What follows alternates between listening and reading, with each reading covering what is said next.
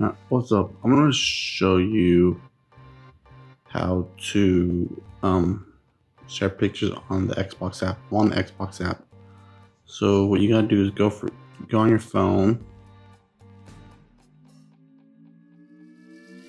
On your phone. And look for the Xbox app. So you type it in, Xbox, it's right there. So when you see it, you type it, you touch it. So that's the Xbox app and then you're in your Xbox app. Then when to hit your friends, you tap right there. So those are your friends. You click on, and then for me, I want to hit my favorites, so I go to favorites. So this is all. So you go to your favorites. You hit this right here to go favorites. And you go back, click that. You go to favorites I'm going to send it to the Bay 925. Other Bay 925, this guy. Then I click.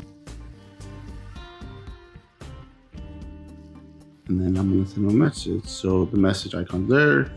So you hit the hit the message thing. So then you click the plus sign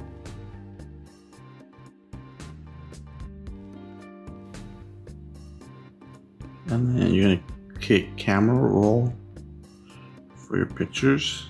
So you click that.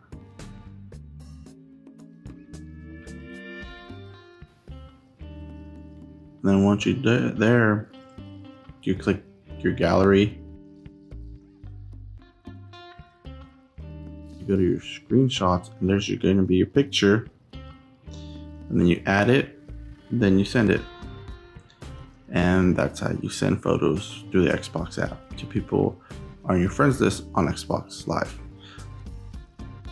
Okay, so we're gonna go to the Xbox app to show you that you can share pictures. So I signed into my other account and we're gonna show you that it works.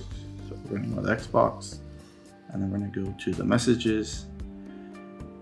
And then after that, we're gonna show you the pictures. So we go to messages, to the message right here and there is the picture right there. Click it, show you the full screen of it, and there is the picture. So as you can see, you can't send pictures.